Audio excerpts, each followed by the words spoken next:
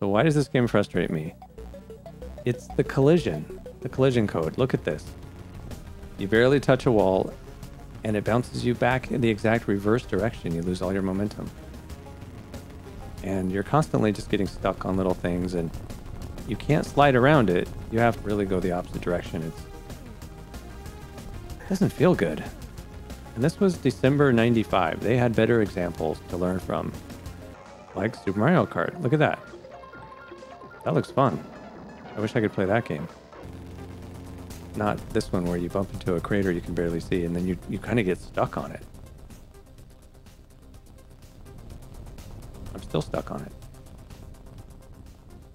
But this next thing is probably going to blow your mind. The controls.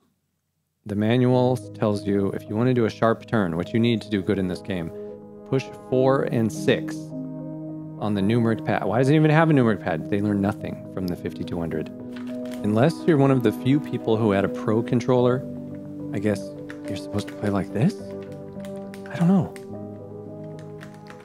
Assuming you can do sharp turns, you won't like it. If you turn a little too much, you do this giant spin out. Although, I gotta admit, the frame rate is good, the two player option is okay, and it's not the worst racing game on the Jaguar. That would be Checkered Flag.